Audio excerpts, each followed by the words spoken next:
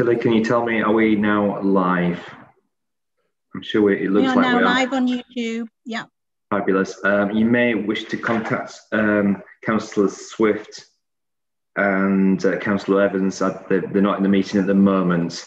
It's, um, it's possible uh, uh IT issues potentially. So, uh, but we'll. Good evening, members. Let's uh, make a start. So, so good evening and welcome to the Adults Health and Social Care Scrutiny Board on Thursday, the 11th of March. The nights are getting lighter. We're feeling a bit better. We're hopefully getting back to some form of normality. So let's uh, let, let's continue. Tonight, we're going to use the raise hands function. So if you go to the participants at the bottom, click the participants at the bottom, and on the right hand side, you will see a list of names who's in attendance. And there's a, a a raise hand element there. I'll try to take you in order, but sometimes as these things do, we, we try to notice these things straight away. But uh, my apologies if somebody uh, gets in a question before yourselves. So uh, let's continue with the agenda items. Um, so substitutes nominated for, for the, this evening and apologies for attendance. So I'm aware that we've got um, Councillor Rivon. Thank you, uh, Councillor Rivon, for attending again. And uh, she's substituting for Councillor Naeem. So welcome uh, to, to, to, yourself, Councillor Rivon. I have no other apologies or no other, no other substitutes for this meeting. So we go on to item number two. Uh, just to remind members to declare their interest at the relevant times if there are any. Um, item three, admissions to the public. The public are most welcome to join us on YouTube. So anyone watching out there, welcome to the meeting. Uh, always welcome as, as, as uh, and appreciate uh, people viewing us. So excellent. So item number four is minutes of the Adult Health and Social Care Scrutiny Board held on the 4th of February 2021, a copy of which has been circulated. Uh, can we take those as a true record? Do I have a proposal for those? Anybody? Yeah, thank, thank you, Councillor uh, Whitaker. And the seconder for those? Yeah, thank you, Councillor Lee, and all in, in favour.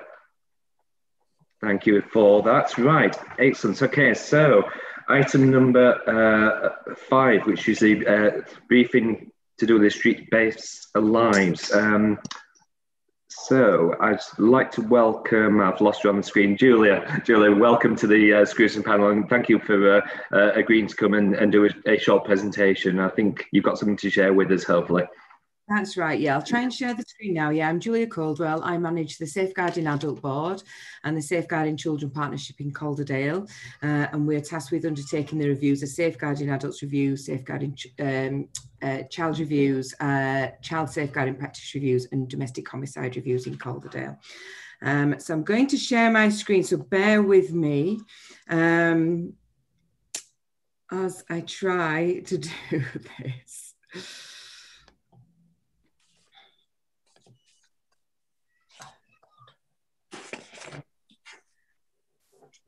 And if you can just let me know if something is sharing, that'd be fab. It is sharing. Yeah, we can see everything on screen. So, uh, so please. That's it's fine. Yeah, as far as as far as I can see, it's fine. Yeah. That's great.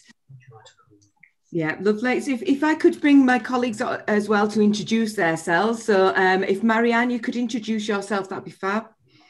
Hi, I'm Marianne Hewson. I'm the independent chair of the Safeguarding Adults Board.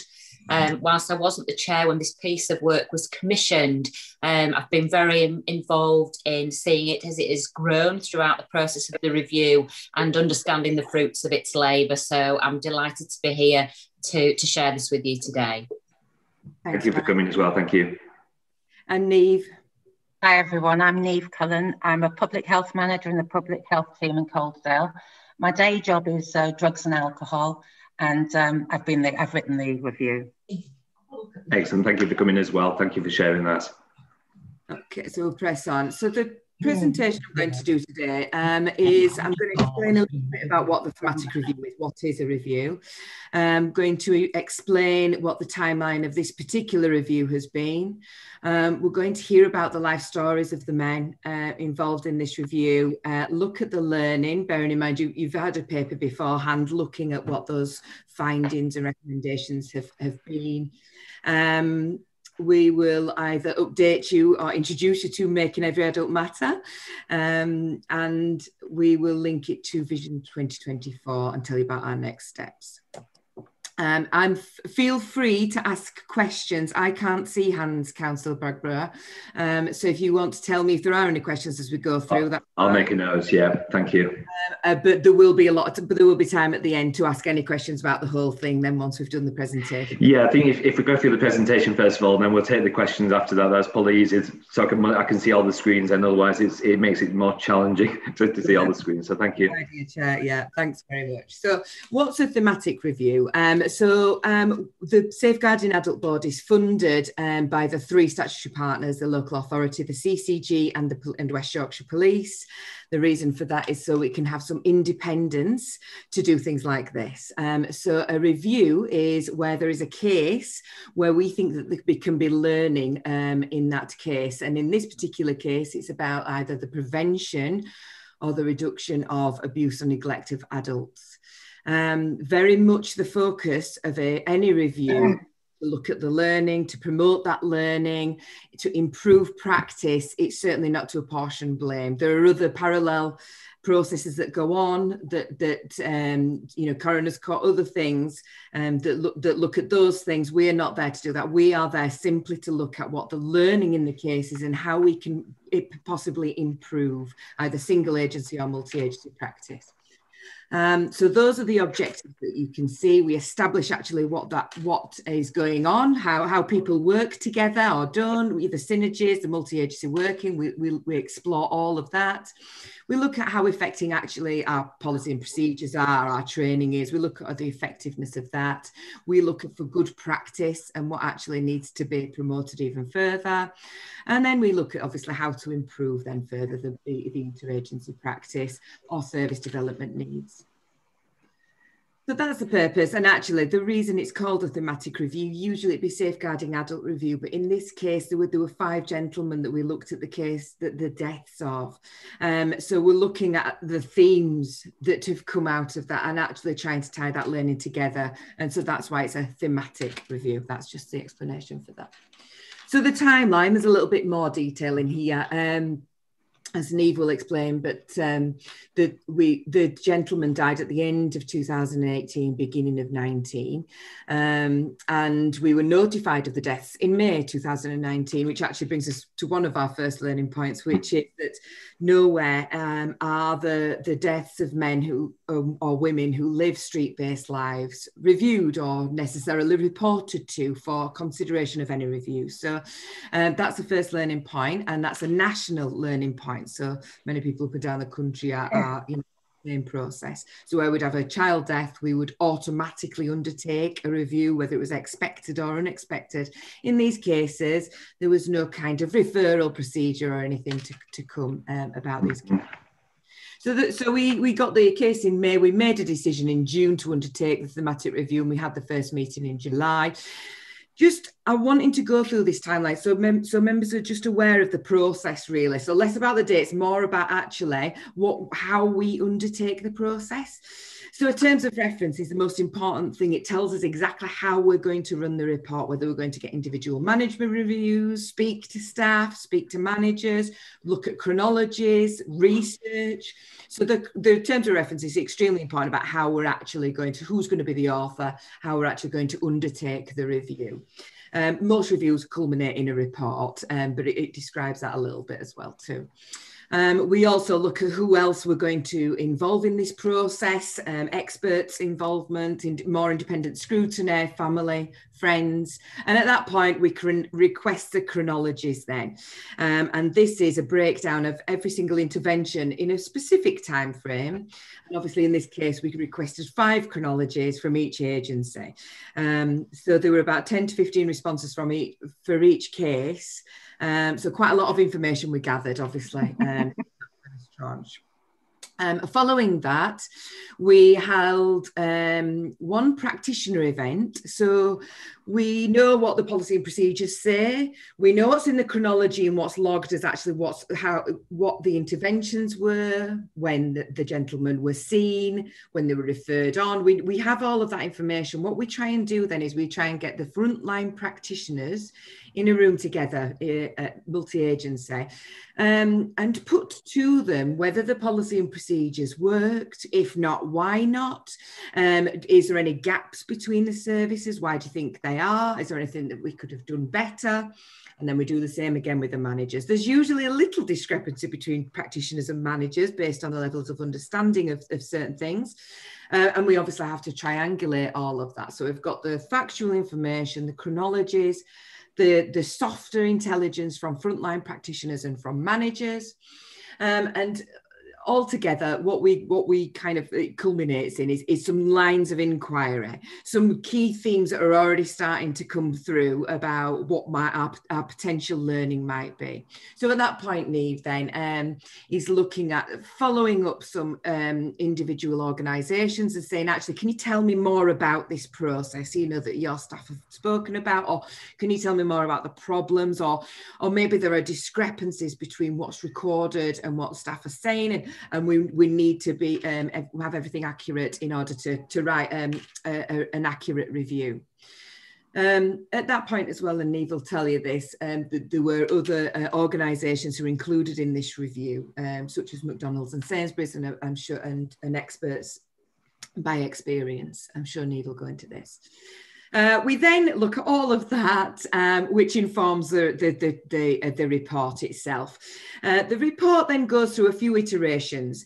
Um, first iteration is really trying to get to grips with the factual accuracies of those, drawing parallel themes between the five cases. What is it that we're actually what, looking at here? What seem to be the key themes, the key areas of learning? Um, we consider at that point whether immediate learning for single agencies too. Um, and then um, as you can see between March and November, there's a bit of a gap there. And I think you all know what happened in March 2020. Um, and just recognize that Neve and everybody who was involved in this review, the, all of those up to 15 agencies, all have day jobs. Um, and obviously they have to get on with it and do these reviews on, on top of that. So, um, yeah, we've um, we then went through a process of streamlining the report because actually as you can imagine in five cases um, with the breadth and depth of information that we had um, and the learning actually that's, that's come out of these cases the report was large that we had to reduce that in order that um, it be readable. Um, and, and so reducing something is quite uh, you know hard to do. Um, so that that uh, was the next process that, that we undertook and really focused in on what those key themes and as you can see from the report that you've got those four areas of learning that we really focused on. Um, we've done the final sign off now um, and we have um, written the action plan and also what the content of the learning briefings is probably going to be. At the moment, the report has gone out for independent scrutiny. So because Neve works for Calderdale Public Health, even though she's removed from services and didn't um, obviously um, have the, the, the, personal interaction. Um, we felt that it needed to have the independent scrutiny. Um, so we've asked um, a clinician in the field who's well versed and looked up to uh, nationally for, for working with people who live street-based lives, Dr. Nat Wright, and Lankelly Chase, who are a national charity um, working with homelessness. Um, I'll hand over now to Neve um, about a bit of the background. Is that okay, Neve? Yeah, that's lovely.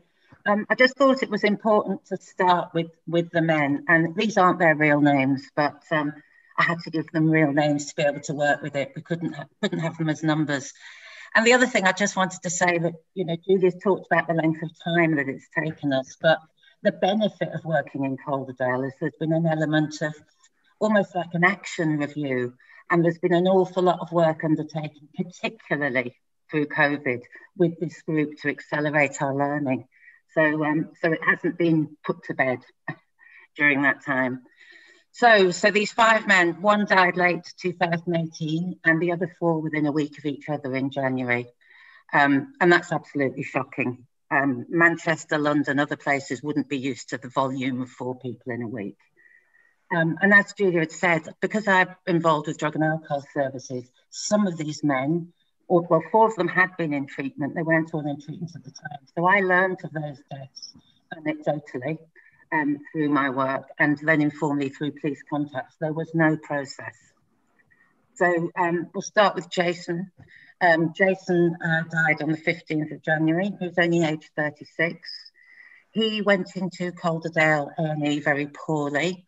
Um, the, the, hospital acknowledged there was a delay in his diagnosis and he died of sepsis the next day. Uh, there was an internal inquiry and it was felt there was no um, prejudice to him being a drug user, but obviously that might have made diagnosis difficult. Zeb died um, the next day. He um, was found in the canal at Brighouse. Um, he was well known as a, a character in Calderdale in Halifax, um, a drug user, um, an offender, um, and general man about town. When they searched his address, which was in a temporary address, it was in a very poor state, uh, no electricity, and there was obviously signs of drug use there. Pat, um, who died aged 46 on the 11th of January, most of us will have seen the tent outside Sainsbury's um, over that winter. Um, uh, Pat was one of two men there. He had been very, very poorly for a few days before he was admitted to hospital and had ketone thrombosis that then again became sepsis and he died in hospital. Lenny um, was aged 42. He um, he died um, up outside the British Heart Foundation. He was sleeping behind there. Suspected he's overdosed. He was also very badly burnt because he'd been trying to light a fire to stay warm. Um, and then Peter. Um, Peter was found by the um, railway lines and identified through his wallet. And I think it's fair to point out now, Peter didn't the same profile as the other men in terms of being somebody that we were used to um, seen around town. But as it was felt important to include him into the review because a lot of the themes around interagency communication and his multiple vulnerabilities were common to him too. So it felt important to include him. And I think I put a note on there at the bottom. I mean, if we look at the ages of these men, it clearly demonstrates health inequality. And, you know, the average age um, for homeless people to die is 44 for men and 42 for women in England.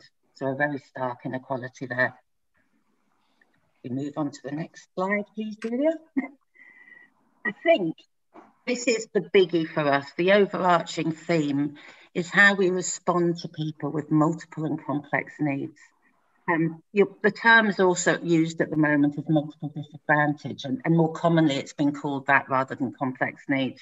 But Robin doesn't like it, so we're using multiple complex needs until he gets his head around it.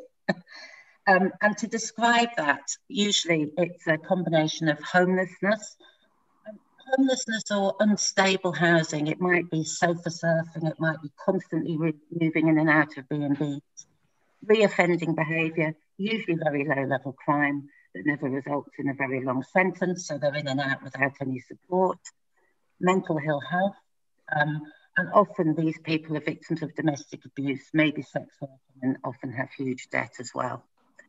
Um, they tend to be known to everybody, but served by no one, and, and often called hard to reach and never feel like anybody's responsibility.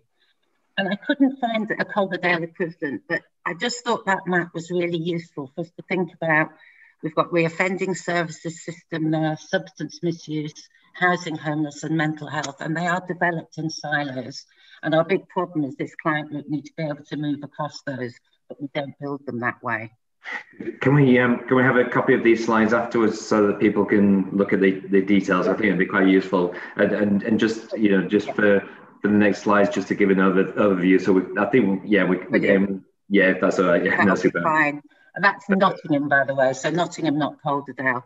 And I was thinking about how to describe it. So dual diagnosis, you might have heard the term a lot, where we talk most commonly about people that have problems with substance misuse and problems with mental health. And the only way I can describe what it's like to access healthcare is that if you walked into A&E with a broken arm and a broken leg, as opposed to substance misuse and alcohol, they wouldn't tell you to go home and deal with your go home and deal with the broken arm, and we'll mend the de- we'll mend the leg today, and then come back when the arm's better. And that that's the challenge really that that these people are dealing with. Next slide, please, Julia. now, the report is big. It's been reduced and it's still big. And there's an awful lot of examples there, but I just thought it might be useful for me to pick out some examples from the themes to, to bring them alive a little bit. So if we look at access and engagement to healthcare and all the other services, there are some really obvious issues, really practical stuff like digital access, mobile telephones, literacy, um, often too many wrong doors for people to try and access. What was really interesting for me, and I don't know whether it's it's a long time since I've done face-to-face work, there's a culture of not making referrals anymore. Most people are signposted, so it's left, it's their responsibility to sign, you know, to, to follow up this signpost, and people don't. Um, and often you know, with histories of discrimination and stigma, particularly around substance misuse.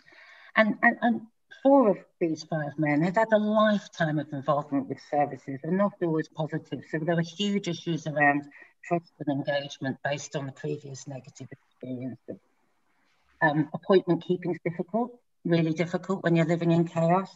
But also, we looked at agency policies, and there's a lot of inflexible policies that didn't play well for these men, whether it be lost prescription um, policies and drug and alcohol services, the eviction of Peter, which was a process that couldn't be stopped once it started, even though I think a lot of people would have liked to.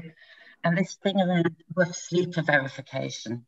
To access rough sleepers service, you have to be verified, and it's a very prescriptive process from central government.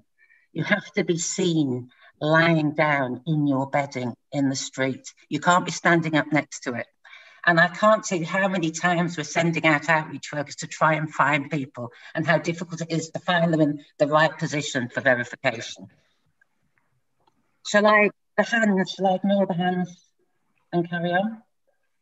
carry, yeah, if you carry on, I think as I say we've got the, the papers as well. So we've had you know the, the comprehensive uh, uh, brief. So really, really want to get on to members' questions. I guess as you know, okay. as, you know, as, as, you can imagine. I'll, yeah. I won't, I'll, I'll whiz through. Yeah, no, super. Thanks, you. And professional curiosity. I mean, burnt bridges was what we named the report because that was the idiom we heard all the time. There was a real sense that these guys had burnt their bridges with everybody. It was a sort of hopelessness going forward. Mm agencies, it was really interesting and revealing for me because I was I was interviewing paid professionals, but also as Julia touched on, guys had had lots of contact with people in the community, with McDonald's, with the security at Sainsbury's, um, and, people in the market, and the community safety wardens, really interestingly. And it became a, it was very apparent a, a different approach. So in terms of these men's stories, I heard more about their stories from McDonald's, from Sainsbury's, and from the community safety wardens had been in touch with their families. Somebody actually went to the funeral. There was an awful, whereas the other side the flip coin of that was, you know, staff are tired, they're desensitized, they see this all the time. And there was a lack of story there. I think there's something for us to think about in that. And of course, culture and attitude. I've done lots of meetings across the system, and I still go to meetings where we describe people as street beggars or rough sleepers or druggies. And I think there's a challenge for us to think about the lens that we look through, we look at people through. I think that the other big, big lesson that underpins a lot of this is our understanding of the impact of trauma on these men's lives. So even though we only looked back six months there was still quite a lot of information there that would indicate um, that these men had experienced trauma in childhood. And I don't want to do the, the, the science of trauma a disservice, but if I try and explain really simply that we talk about type 1 trauma, which is a single acute event, could have been a parental bereavement, can be an assault. There was evidence of that with, with, in these cases. And type 2 trauma, which is the more chronic, long term you know, lack of care from, from um, harm and neglect by caregivers, whether they be parents, whether they be social workers. And then when you put one and two together, you get complex trauma. And that really impacts on a sense of safety, on people's coping mechanisms, on their ability to self regulate, which was key here, and certainly impacts on their ability to seek help and engagement. And experts talk about re-traumatization. So all the time we're having poor experience accessing services, understanding that trauma. What shocked me, and I hadn't anticipated, um, was that four of these men oh. had all had traumatic brain injuries, and it was shocking. You know, being hit with oh. looking at the A and E admissions, you know, and it was really interesting. So they all had these awful assaults, but there was never any reporting to the police and never okay, any okay. report.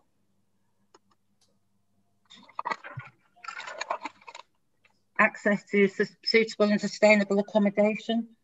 Um, we, we haven't got the specialist um, tenancy support to keep people Thank you very much. Cheers. Bye. Goodbye. Sorry, I'll carry on. I just. Um, we didn't, at the time, we don't have enough direct access accommodation to take people straight in from the street.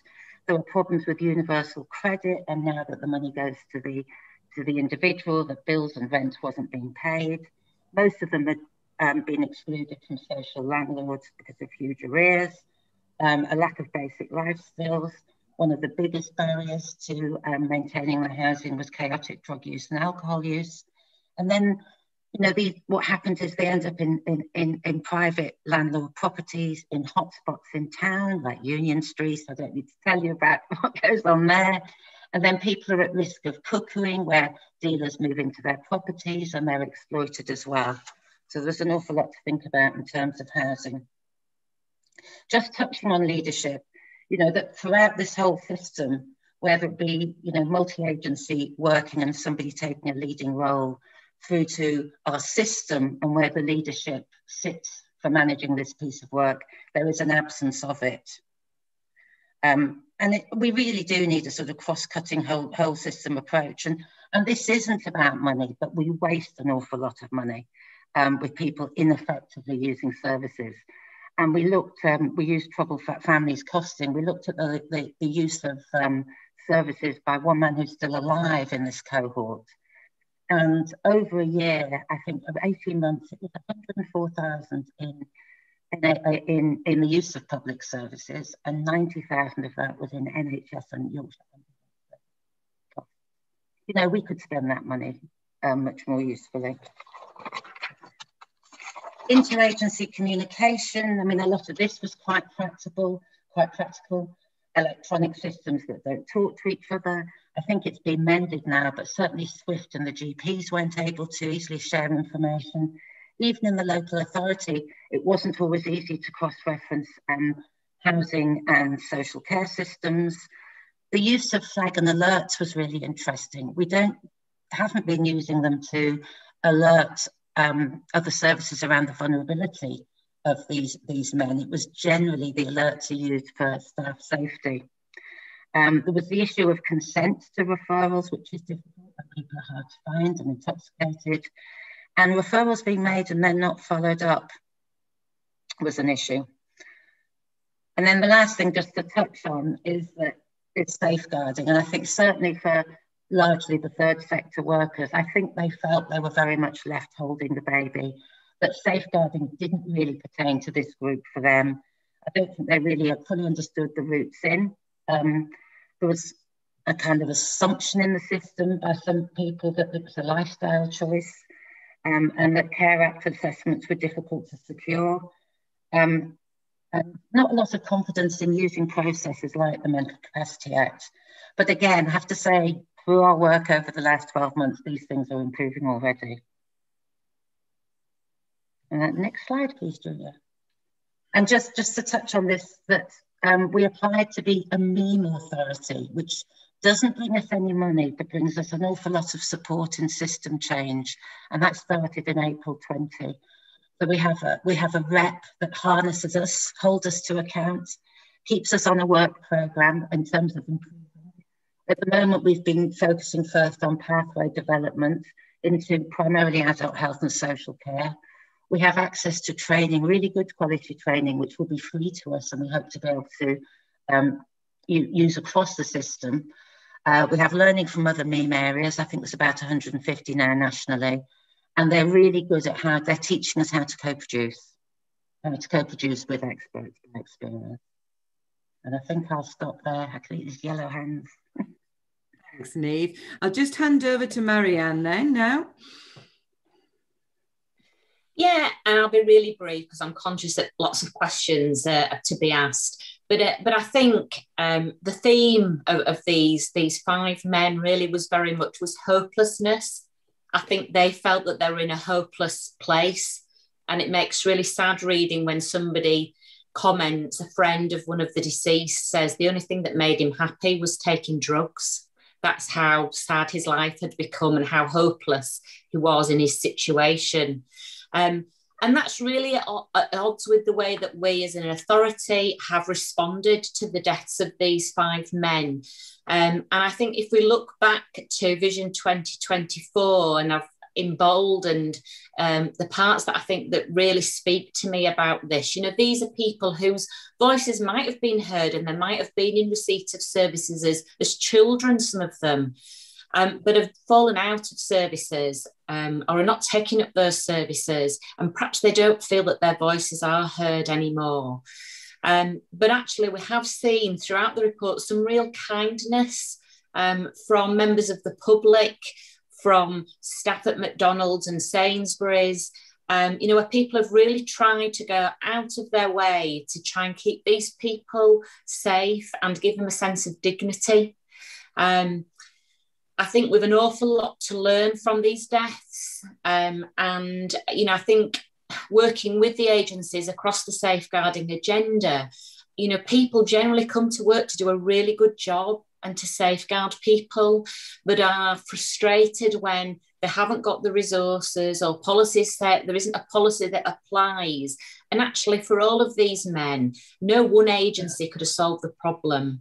Um, a number of agencies and the communities and public sector as well need to come together to safeguard um, these people and to change the way that we view their lives and the way that we enable them to access the services that they so desperately need um, so that they can, like everybody else, live that larger life that we aspire to live. And, and again, going back to those statistics that Neve quoted earlier, you know, when people are dying in their early 40s, when the average is 70s and 80s. I think that's really sad, and that's a massive inequality in our society, and something that we really need to take seriously and do everything we can to level up um, for the benefit um, of Calderdale as a, as a place generally. You know, we will thrive um, as a place when everybody thrives. Um, so that's where our focus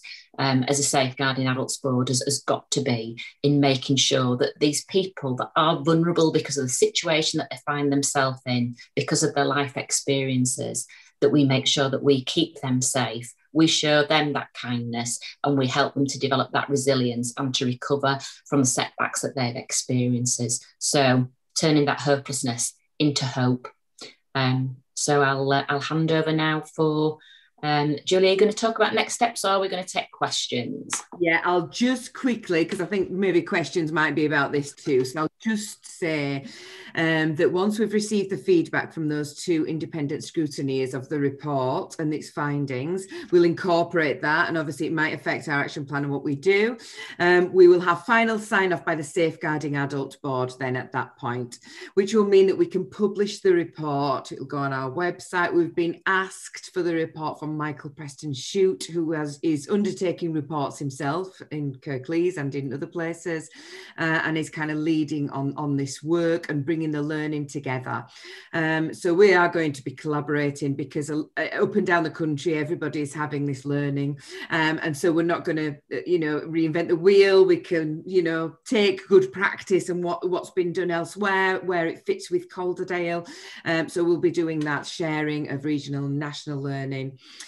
Um, we are going to go through a pro- whole process of briefings, training staff, written communication, videos, probably lots of different things to try and get the messages from this learning out succinctly and not in a 80 page report.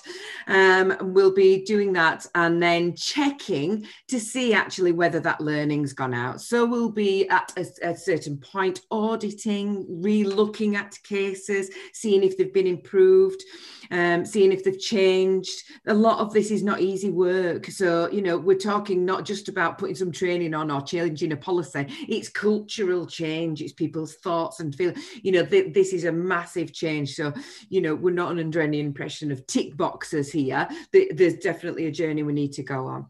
Um, we'll gather the feedback from the staff about how that's going, but from service users too, from families, from communities, and see actually what difference this is making this this thematic review and the learning from it is making.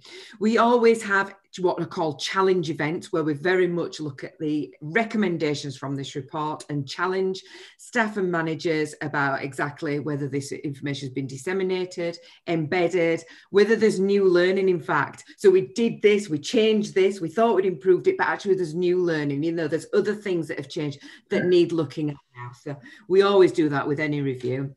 Um, we've got an action plan that we need to monitor and we're going to report. And obviously the assurance of all this goes through to the Safeguarding Adult Board. Um, we did have a thought, and maybe for this is for the questions and discussions about what the involvement of the scrutiny board is in this, you know, corporate parent style things, or, you know, the, the kind of decisions, the, the high level decisions about funding and things like that. So, you know, we did have a think um, that that's probably a discussion that might need to be had in future. Um, I'll stop talking, and I do have a slide saying any questions, but I will end the slideshow if that's okay with you. I hate to say this, Chair, but you're on mute.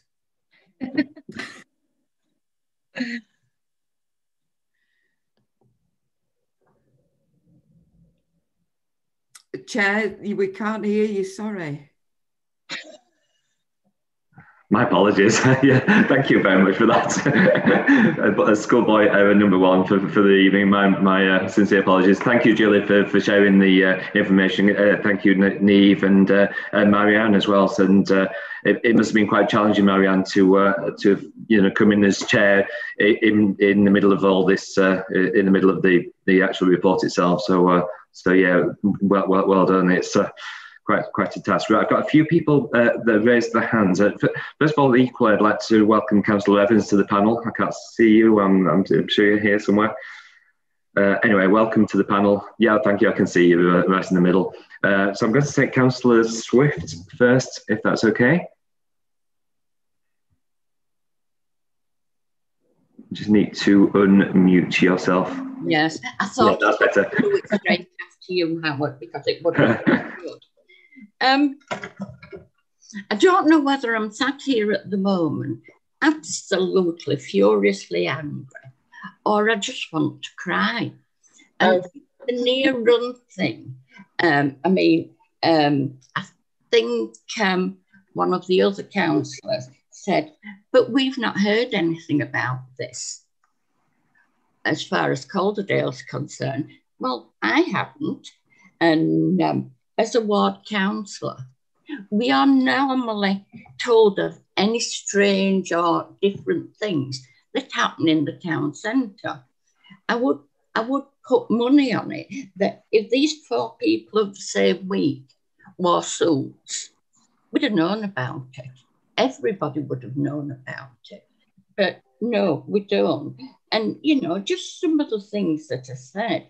I don't know how something signed off Julia, if we can change it afterwards. Um, yeah, and um, you know, it's the things about um, Union Street. Well, we all know what Union Street's like. You know, um, we should be doing something if we do. And we've tried in the past and it hasn't worked, but we shouldn't give up.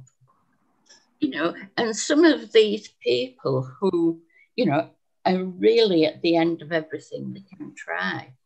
When it's bad publicity for them, like when they're begging or when they um, are, well, you know, getting up to up close to people and threatening or perceived to be threatening, we hear about that. So, you know, um, we should have heard about it. And now, whatever has to be done, it has to be done and not thinking about, well, such and such, you know, because we've all let these men down from the council because we didn't know, from the health authority, from the hospitals, just everybody. And so I don't think I'm going to say anything else because I think I might be on the verge of getting myself into trouble. So perhaps it's something to pick up from that. So thank you, Councillor Swift, in relation to notification of ward ward members when things like this happen in the, in well, we hope they don't happen in the future, but inevitably, uh, um, whenever something happens, we we need to be part of the community. Can I bring Neil Taylor in actually just at this point before I bring any other members in, just to see whether Neil has anything extra to to add uh, um, before we move on to to the questions. Neil, well, welcome, Neil. Neil. Uh, welcome, Chair. Um, thank you very much. Uh, first of all, I want to commend the work that's gone on really to, to, to get this report together. We obviously all feel that it's been absolutely necessary, which which it is, to, which it absolutely is.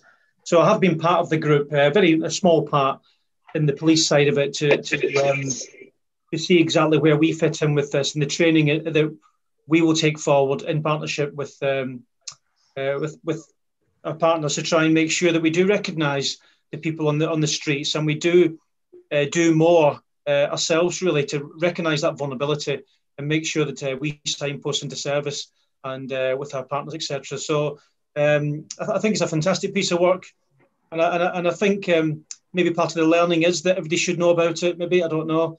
From that Councillor Swift obviously mentioned, um, obviously it's been brought to this this meeting, which is fantastic, and uh, all we can do is learn it's a learning culture, not a blame culture, like um, uh, Julia alluded to. Really, um, we're going to move forward and do a better job and make sure these people are supported, the vulnerabilities are addressed, and we do the absolute best we can to make sure this doesn't happen again. I think that's it from me. Thank you very much. Yeah, no, thank you, Neil, for, for, for that. Right, I'll, I'll, take them in order that I've seen them. So my apologies if they're in the wrong order. So Councillor Rivron. No, just before Helen starts, Howard, Yes, oh, please. Yeah. All the light, all the people were going on and off and on and off, and I wondered if it was just me, but um, it's stopped now. Thank you. Right, good. Right, Mar- marvelous. Right, okay. Thanks for that. So, Councillor, move on. Thank you very much, Chair. Well, I want to begin by saying what an excellent report I think this is. It's been a really moving report um, and a very powerful one. And I think re- really want to thank you for that. Uh, I will also say I think about three or four years ago now, I came to speak to this panel about street uh, based lifestyles. And I will say we seem to have come mm-hmm. an awful long way. And, and that's the positive, I think, out of what is actually a very depressing and a, and a very upsetting story. Before lockdown, I regularly walked through town from the station to the bus station in the evening. I regularly pass people street begging. I know there's there's there's not there isn't a complete correlation between uh, homelessness, street begging, street-based lifestyles, but I think they are linked. And I'll see, I'll have seen some of these people. I will have probably given them some money. I might have bought them a coffee. I might have tried to help them once or twice. I might have rung one of the services, tried to get them some help. So I'm one of the people who's failed them as well. Uh, and I feel that very powerfully. Um, thinking about the response that I always got, and I think again, I see how people feel at the end of the line. Um, that I often got that people weren't engaging with service, people had tried to help them and nothing had worked. And I think one of the things you said was nobody could have solved, prevented these deaths on their own.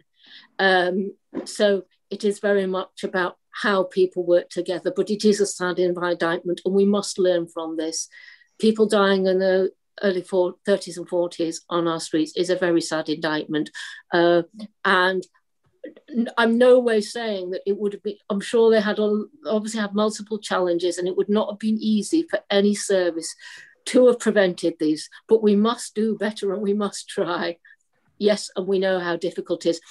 Uh, I would welcome the thing you said about, I think, around co creating and you know, working jointly develop services because things done to people don't work.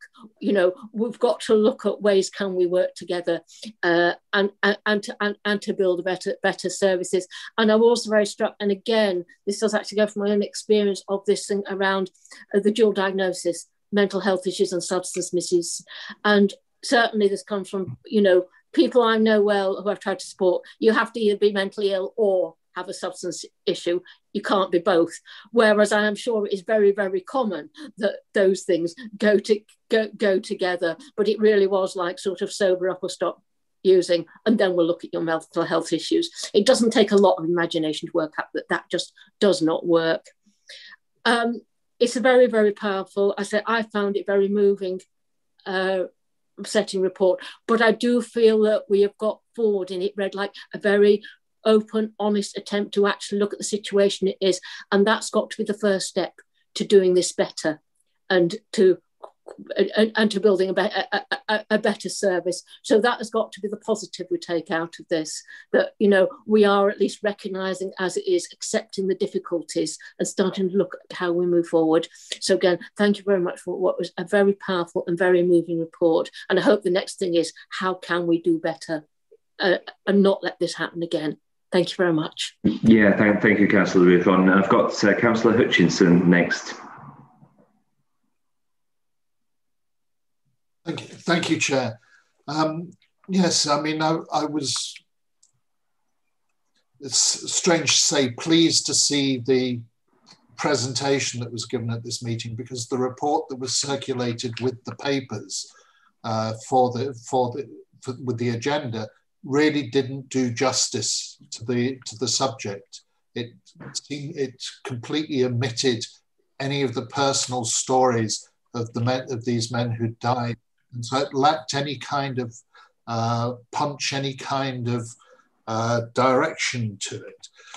I mean, I take on board what was saying that there's no collation of the records of the of people who've died who've been living street light, street life, uh, um, street-based lives. So I do wonder what's happened. You know, this this happened three winters ago and I wonder whether we know what happened in winter 20, 2019-20 and winter the winter that's just passed, whether there are any additional people that can be added to um, the, this, this toll. Um, I am concerned that there's no, we've got a, the report that we were given suggested a lot of of potential actions, although a lot of it was couched in terms of uh, consider, explore, review, without any kind of timescales um, within it or any sign of priorities. And so, you know, I would hope that that will come out in the action plan, um, but they, they, I couldn't find any in the papers that we were given. Um, I mean, it strikes me from what we've heard that the problem is that these people that these people don't fit in with services. That we're told in so much the other health services that we need to design services around the patient. But here we're expecting people to fit in to the services, and if they don't fit in, well, they don't count. And I would like to know how close uh, look is being made into the referral criteria into various services because too often those are used to say, well, they, they don't fit in with the, the referral criteria, so we're not they're not for our service. And I fully take on board what uh, Neve, Neve was saying about the, the trend to signposting rather than referral because then the res responsibility is all with the with the patient or with the client, not with the person who's directing them. They've washed their washed their hands of it. Um, so I did wonder where we can draw good practice, evidence of good practice from, because that's referred to in the report, but no examples are given. And I mean, I am pleased to hear Neil Neil Taylor explaining the input from the police because in this paper there's no, nothing to suggest anything from uh, responsibility from the Justice Department, whether that's the police, probation, or the or the prison service. And I do believe that a lot of uh, people who uh, end up in home uh, in street-based lives do have prison records or, or records of uh, conviction, convictions. So I would like to see a clear sign of where probation, prison, and police fit into this. In, thank you, thank you, Councillor Hutchinson. I think I'm going to bring Julia and, uh, and Eve into it in, oh. in a moment because I, I think part of this is is this was I requested an interim report to come to the to the meeting because on the back of actually the the actual full report wasn't yet available, but you know clearly we wanted it to, to bring to members' attention as, as soon as possible. Really, so so I'll bring Julia uh, and then Neve in to answer some of your points, Councillor Hutchinson. Yeah, and then I can answer them first. I'll hand over to Neve then. Yeah, I'll. Um, if I can just go through. So the sign off process, Megan, um, it's not signed off yet. If you can remember the board meeting where there's 30 people sat around that board, we don't want any questions at that point of what's this, what's that. So the sign off process has to be an internal. The individual organisations would be happy to sign that off. So at that point, we've gone to independent scrutiny. Our agencies, statutory and voluntary community are happy for that report to have independent scrutiny. That independent scrutiny will come back. If there are groundbreaking things that that says, then that will actually have to go back out to the agencies to be consulted on again um, if they're really drastic things. If then that will be um, go to the board for the final sign off. So it hasn't been signed off yet, Megan. Um, it will be signed off at the Safeguarding Adult Board once all of those things have been done. Um, the second point about the notification of um, the, for, for, yourselves. Um, so there is a process in place that before a report is going to be published, and this can be a, a serious case review, SAR, domestic homicide review, etc we work with Lucy Bradwell within the local authority, actually, but the, the comms team there to make sure that you're all aware of that. If you would like to have, we don't have a direct communication at any other point. So when we get referrals in about deaths or abuse or neglect, when we start to undertake a review, we don't have a notification process for you. If you want us to do that and start doing that, then that may be something we can talk about. But at the moment, we don't we we inform all board members who sit around that board, obviously, um, but but it's not there, so we, we can maybe discuss that. Yeah, Neve um, and and Councillor Hutchins with the, the personal stories in the report, we were we were just providing an, an interim report, Councillor Hutchinson. It, it, the report itself is 80 odd pages long and, and does go into what, what you've described. The action plan itself is uh, very much measured dates, who's responsible, by when, how are we going to know that it's had any impact, what's the evidence that it has, and you know, it's very in depth, is the action plan itself.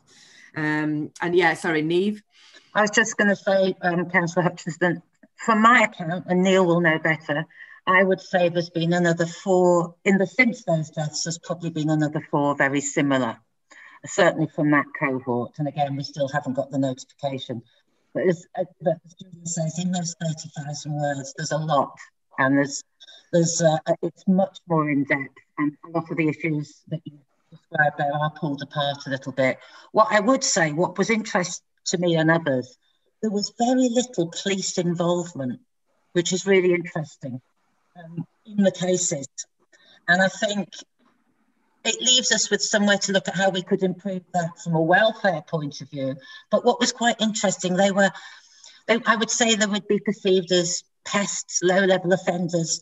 The police recording of them was really just setting eyes upon them, other than that.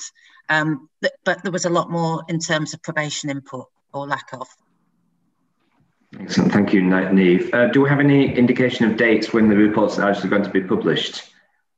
If the feedback from the independent scrutiny says that's brilliant, well done, great job, no changes, it'll go directly to the board where it will be signed off. If they say anything else, then it might, it depends what they say as to, um, uh, as to, uh, Neve's hanging ahead here, but uh, whether there's any further work required to be undertaken. Uh, we want to get this right. We don't just want to write a report and publish it. We want to have the learning for Calderdale to actually affect things in the best possible way we can.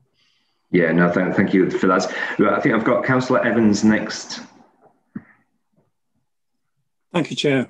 Um, yes, uh, uh we, we're in danger of beginning to overlap with each other as we go through questions, but obviously a dreadful and upsetting story. Uh, and I'm pleased to note that right from the beginning, we're talking in terms of uh, learning points here rather than pointing fingers and so on. Um, one of my concerns, though, is that it's taken two years so far to get to this point. I know we've had COVID and things like that. One of my concerns is that is, is the time scale that we're, we're talking about. And I understand the need for it to be right and signed off and all those sorts of things. But I do have an underlying concern about the timing on this. Uh, I also have concerns about the fact that I think Megan started off by saying that uh, we've just not we've not been aware of this until this report arrives. So a little bit concerned about that issue as well some standout points for me in relation to this is that um, there is a reference to the fact that agencies reported a decline in appearance of some of these men, but there weren't any onward referrals resulting from that, and that's been highlighted. But it's certainly another concern area for me.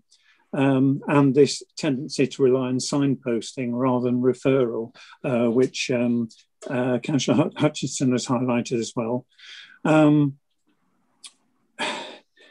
I believe that Calderdale has a multi agency self neglect policy and toolkit, which links up with some of the things we're saying about the need for joint action on these things and people getting involved uh, jointly and working with each other on issues. Um, and but the report seems to suggest that frontline workers weren't aware of this particular report, this uh, particular policy, sorry. So I think there's perhaps a, a, need to review that situation and see whether people are aware of that. Um, a more general point which has occurred to me is that I believe that central government recognises the need for cross-government approach to deal with this sort of issue. Uh, and therefore, what that for me does, it emphasizes the importance of replicating a similar approach within local authorities. And it brings us to this point of pulling all things together, which is we're already beginning to talk about, which is great. Um, the Can I can I just come back to Councillor yeah, well, I was thinking, just, I mean, for everybody really, just thinking about what happened between May and November and, and there's some concern about the time scale. What happened is we had to look very, very quickly at how we supported this client group through COVID. That involved bringing them in, keeping them in, keeping them out of hospital, keeping them off the streets, dealing with their addiction, getting access to healthcare, and actually an incredible thing happened. You know, we, we without being able to evict people, everybody had to work very differently with this client group. Mm. Um, and, and, and it's been amazing. There's been a, there'll be a report on that because there's been a heap load of learning out of it and new ways of working. But the upshot of that is on May the 3rd this year, we will be opening a high quality eight bedded unit for this client group in Halifax. Yeah. So there's all this has been happening. It's almost like as a You're result. Of a point. I was going to. So I haven't been at home. no, no, I'm sure you have. I haven't been, sure. you know, there's you know there's there's been a, so we've managed an awful lot and, and, and thinking about the pathways into adult health and social care we've had safeguarding and i've been in calderdale 12 years never had a safeguarding planning meeting for an adult from this group um, mm. without their consent because we were so concerned of their safety. So there's been a huge cultural shift going on behind the scenes. So hopefully, by the time the report is published, we'll have at least 30% job done for a lot of it. That's good to hear. Uh, and because one of my concerns is that because it's in separate bits, there tends to be a higher total system costs associated with that. Uh, and uh, hmm. you know there are opportunities for whole system efficiencies if we can work together like this. So we, we all know that one of the problems with uh, funding the sort of work that we're going to be talking about is funding. Uh, but obviously, the, the whole system approach is going to help that and yeah. spread the money more effectively and, and get better results.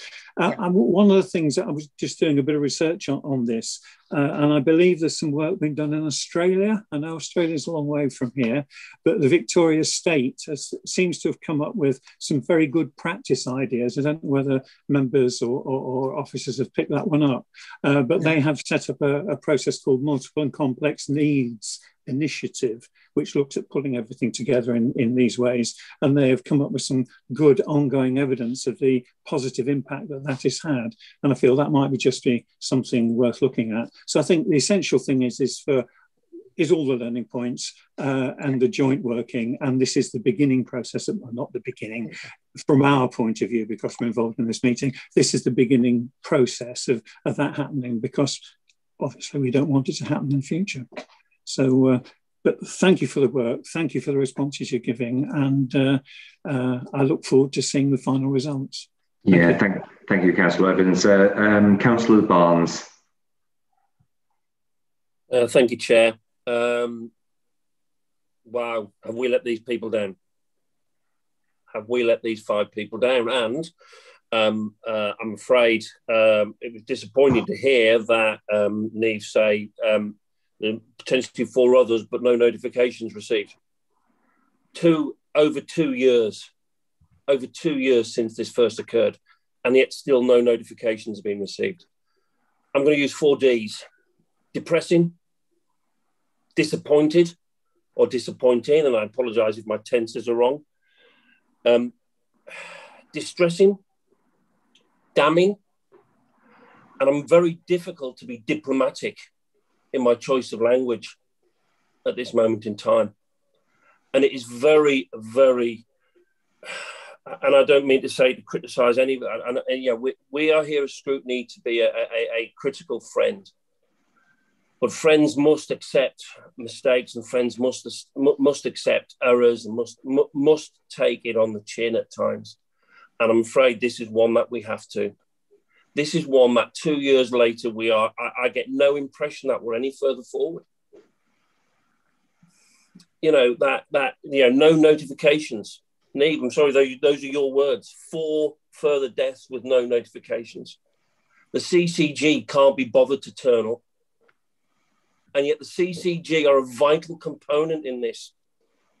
Can't be bothered to turn up in what is an important and very depressing report. And I'm so glad that you mentioned those five, the, the five names in, in, in, in your slides to, to, to, to humanize it, because that's what this is about. It is to humanize this whole situation, not processes, not procedures. It's about human beings, human beings who we let down and who die. And, and I think I'm going to stop at that. So thank you for the opportunity to talk, Chair, and thank you very much for the report. No, th thank you, Councillor Barnes. And you do raise something that I was going to, to pick up actually, which was the uh, uh, the lack of attendance with the CCG uh, this, this, evening, which is is disappointing because we we always we are a critical friend with almost uh, help as well at the same time. And I think it it comes down to one of the at the end is is to um, uh, use our formal powers to to request that they do attend uh, this as our future meeting. So that's what, one of the things I'll propose forward. So thank you, Councillor Barnes, for the for, for uh, um, yeah rightful language uh, used there. I've got Councillor Clark.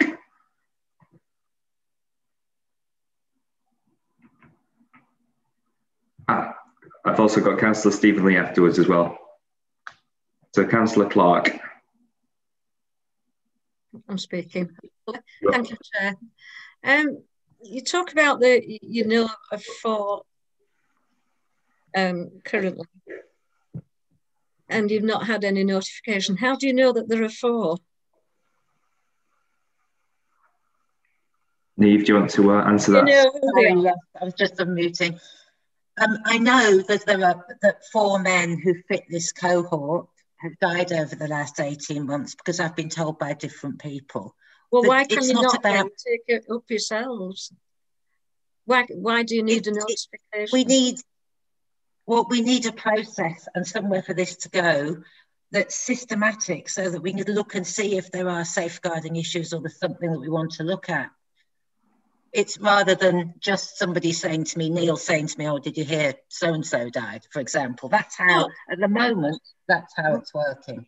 What tends to happen? So, what what these reviews are very costly um, in terms of people's time. So uh, two years, um, they're very very costly once we've got the learning from a review, so I don't know, some of you are involved in our Child M serious case review about child sexual exploitation, and the learning that that generated, it completely changed our system to be an absolutely fantastic, good process.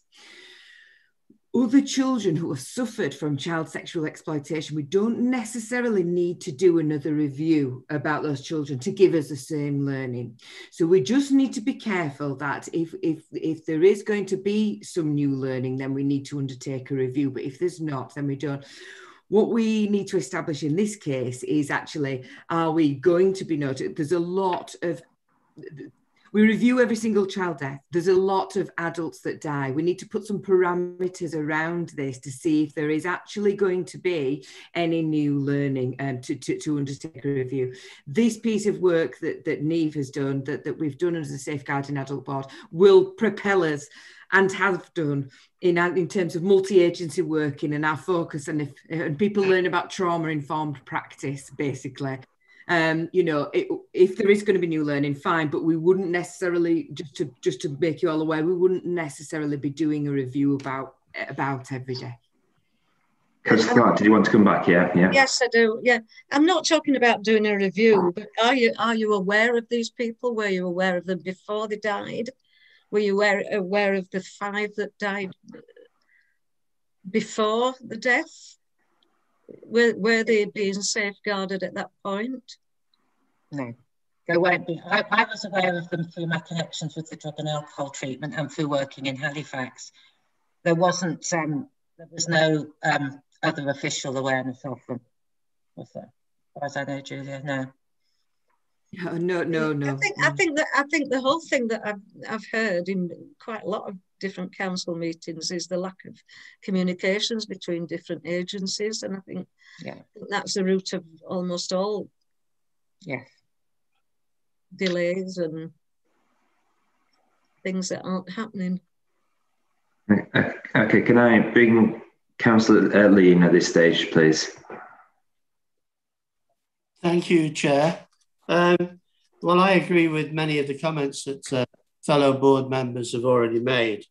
Um, I have to say, I'm very disappointed sitting here right now. I realise that the report isn't finalised. First of all, as a general comment, right at the very beginning, I must agree with Megan Swift's comment about what was said about Union Street. Now, th this is symptomatic of an attitude of mind. It's a concept. But if some, if it, it must surely be unacceptable to anyone here this evening that if something is known about a place in Halifax, to talk about it as a known problem area and accept it is totally unacceptable. If there's something going on, we need to get it dealt with, not talk about it three years after the events. And who knows what's happened, you know, since then, apart from the four deaths. And as has been said, it's some time since these incidents occurred. And I've not heard anything that satisfies my demands for action plans, positive plans, means of monitoring the plans to achieve results. I've just not heard it, and I know that Councillor Barnes alluded to it. So instead of talking in the abstract, here's my question, Chair. I ask if someone tonight is asleep on the, on the street in Halifax, what ought to happen tonight to potentially save a life? And I've heard nothing that could do that in the report this evening. Thank you, Chair. Thank you, Councillor Lee. Uh, Neve, would, would you want to respond to that? Yeah. So tonight you could ring, um, there's a widely advertised number, but if not, if they're in the centre of Halifax, we have street outreach workers and we have beds at the Gathering Place shelter um, in town. And that would be the first point of contact tonight. And in that shelter, you'll have drug and alcohol workers, um, access to district nursing. You can register with the GP and we'll try to move you on into more stable accommodation, ideally not in Union Street as soon as we can. Okay, does somebody want to um, uh, answer the question in relation to the uh, place where we know that there is an issue like Union Street, and who, who's who's responsible for for for that basically? You know, if you're if you're aware as an agency, um, you know, who, who do you then report to? Neve, do you want to come back on that? I think issues like Union Street, when you're talking about place, require a multi-agency response and a slow response. And I think most of us in the last 12 months have just been, you know, working, doing what we can to keep our heads above water, keep everything ticking over, and I take on our additional COVID responsibilities. I think it, it would be interesting to look at a place like that, but that would require police, housing, public health. It would require an approach. I mean, there are different ways you could do it. Something you could do is look at Union Street and the people that live there and ask them how they thought we could improve it. I mean, there's lots of ways of looking at it. And I think it would be a really interesting piece of work, Councillor Lee. It's capacity, I think, that probably prevents it rather than will. Is it specifically mentioned in the report in terms of highlighting the, the, the areas in the actual report? I, I, don't think I mentioned the name, but I, we talk no, about you mentioned areas. hotspots and what can happen in those. Right. Okay. Right. Okay. Let me bring Helen Hunter in from Healthwatch. Uh, welcome uh, once again, Helen. You're always welcome to these meetings, and you're also so so well pleased. Yeah. Um, I've got a few different things that I wanted to say. Uh, so, just so you can understand where I come from in this context. So, Healthwatch ha- sits on the Safeguarding Adults Board. Um, I'm the representative that sits on the Safeguarding Adults Board, and I chair the communication and engagement subgroup of the Safeguarding Adults Board and Safeguarding Children's Partnership. Um, so, as a member of that board, I feel like across this whole period of time, we have been kept aware in terms of how this work is progressing. And there's been a lot of questioning in that board about how and when the report will be produced. So there has been kind of consistent challenge within the within that board about the pace at which this is happening. I think it's important that you have that assurance that actually that certainly has been something that's been championed across the board. I think what I would say through having been part of listening to that challenge is that I am very much assured that over the last two years, whilst this piece of work has been ongoing, we haven't just been observing the problem and trying to articulate it. This is something that has sparked action and sparked change. And I think that we're starting from a place where the kind of people who have been whose lives have been examined in in this report haven't had the right support for decades. This isn't something that we were working on already that we that we'd kind of not quite got right. This is something where people have been chronically under supported for a, a, huge period of time. So actually the changes that have been made um, are, are I think we would all agree are steps toward where we want to be, not a not a final article. I think that this is something that's catalyzed action, and it's something that should never have happened and it shouldn't have been necessary for this to happen for that action to be catalyzed but i think it's it the the piece of work the report you know um I think from my perspective, listening to somebody like Neve talk with the compassion and understanding of what the lives of those people are like is incredibly compelling um, and helps us to understand that there has historically been a perception of some of these people that is not accurate that does not articulate the truth of their lives and the difficulties that they have experienced. Um, and I think that's a really fundamental and really important part of, of, of this piece of work and what we're doing. Um, in terms of, um, of a health watch perspective, I would absolutely endorse a lot of what was said in the presentation about people struggling to navigate the system, struggling to get the so the kind of if if you if you are empowered, if you feel like you can speak out, if you feel like you can do things for yourself, a signpost might work quite well for you. Actually, there's lots of occasions when people don't, still don't necessarily um, get the good outcome from a signpost. But certainly in these people's cases, I think the importance of somebody navigating them through the system and being a consistent source of support, something that is sustainable, is really, really critical. Um, and some consistency in how that's delivered. Um, I um, I'm really mindful that for this group, it's really important to have person-centered, flexible support. Um, and I think that it's really important to have trusted people who are supporting somebody. So you might be the person that's working in housing support, and this person might have massive problems with debts and drug and alcohol. But if you're the person they trust, then you're the person that has to guide them into the different bits of the of the services. Um, and I think there was something really pertinent in what uh, Neve said about the um, the fact that, w- that during the COVID 19 period, there hasn't been scope for us to evict people from their homes and how that's forced a different way of working. And actually, I think that the insight that would come out of that as a complementary part to this report will tell us how far we could have been coming for a period of time if we had perhaps looked at these people's situations through a slightly different lens. So I think that this piece of work is an opportunity for us to start a fundamentally different conversation. And I think it's great that there's so much challenge because actually we need need that because these people haven't had what they should have had for a really, really long time. Um, and uh, so I, I just think we need to think of this as, as our kick up the bum that means that we all have to get going and we all have to be focused on this because it's not acceptable for us to know it might happen and think that we can kind of just ignore it. Thank, thank you, Helen. Um, I'm going to bring Marianne uh, in at this stage, um, hopefully. Thank you, uh, Chair. Um, I understand what uh, the frustration from some of our councillors around what they perceive is a slow pace of change in really difficult circumstances.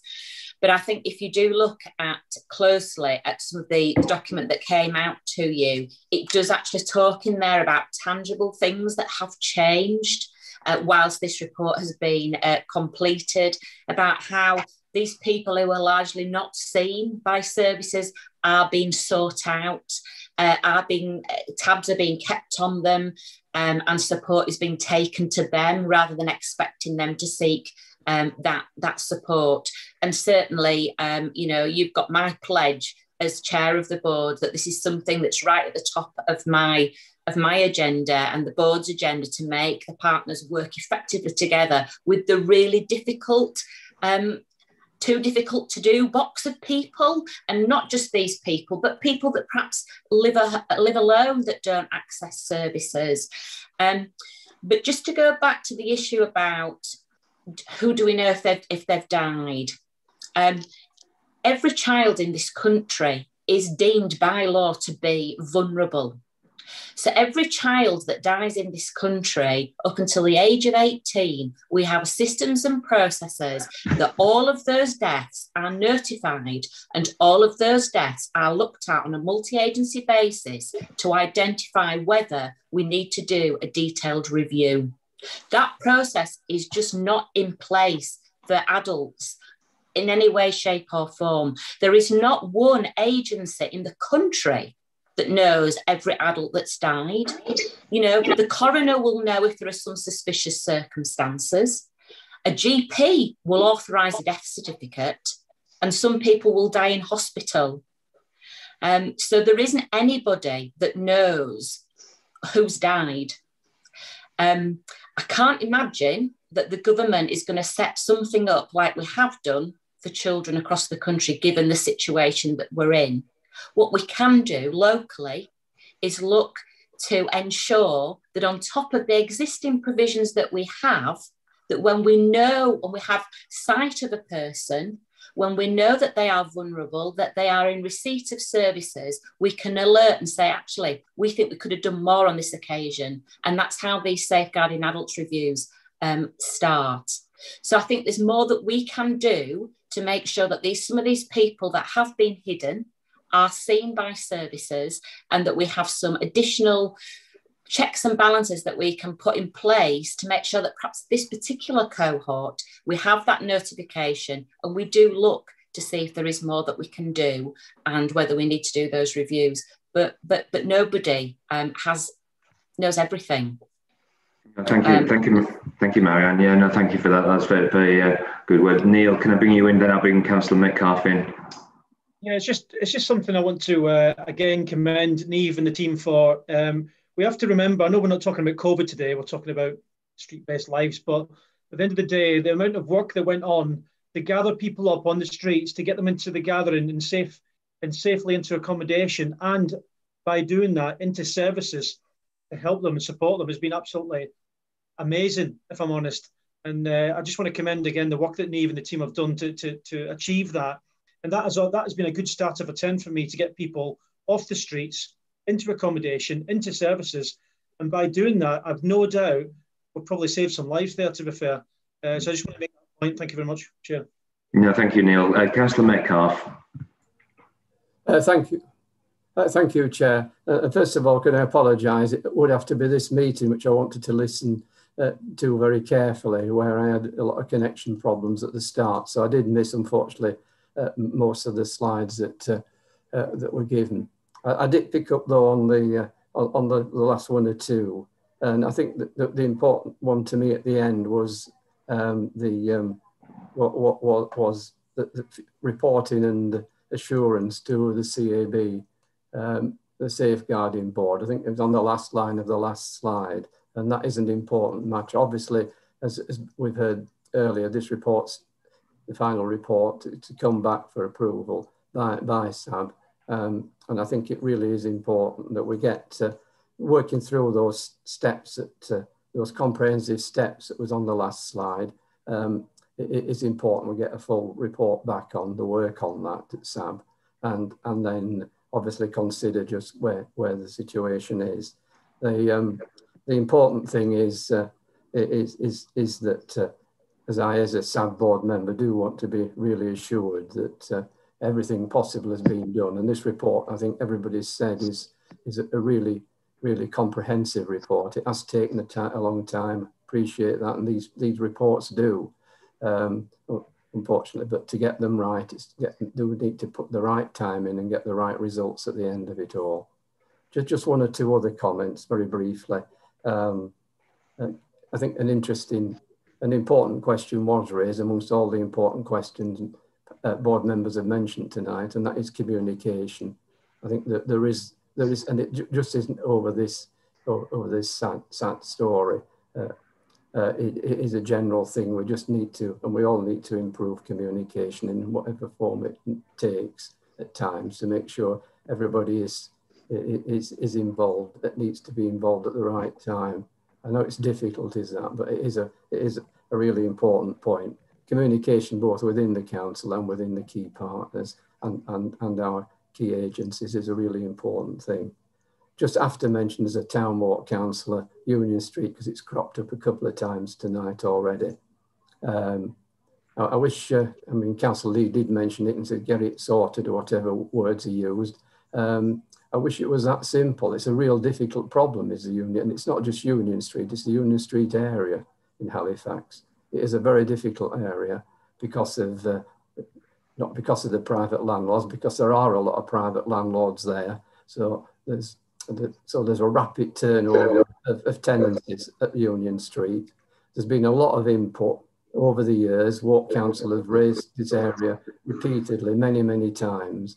Uh, there's been a lot of input from, from the council and from the police, but it is a difficult nut to crack. And no, no, I have to say it's a difficult nut to crack is that area. Uh, we, we try our best to work with those landlords to be responsibly let those properties to people and to make sure that they make sure that uh, uh, they, they, are being that their tenants are looking after not not causing issues uh, and problems there. It is a it is a difficult area and we're working on it, but it's not and not going to be resolved overnight. I would say that it would be nice if we had more resources, both from the police and for other agencies and ourselves, to be able to put into areas like this to to enable more work to be done with with the residents of those areas. But there has been door to door activity over the years. There's been a number of different initiatives there, um, uh, but it still is a difficult one. It, uh, uh, so, Councillor Lee, we are we do we are aware of it. We are working on it. It comes repeatedly up to uh, repeatedly up to uh, the Halifax Town Centre Safer Greener uh, committee. in fact, I think it was mentioned again today there. So we have a regular input and, and get the agencies informed on any problems. I must have raised as walk councillor over the years dozens of issues regarding that particular area, as, as have our other ward councillors in town walk. So just want to mention that it is difficult, um, but, but we're aware of it. So, yeah, just on a point of order, please.